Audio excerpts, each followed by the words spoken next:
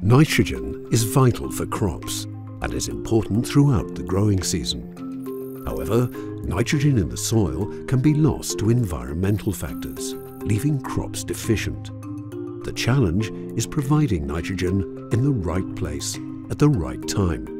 Azotix technology, a naturally occurring bacteria, allows crops to fix nitrogen directly from the air.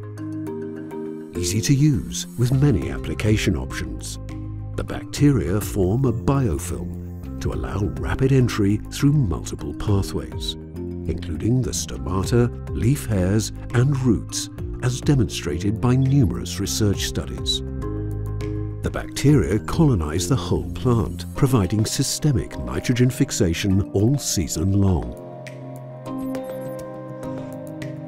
Nitrogen fixation occurs directly in the plant cell, making nitrogen available where and when the plant needs it. With Azotix systemic nitrogen fixation, growers can choose the sustainable nitrogen management program that best fits their farm. To learn more, contact us to speak with our agronomists.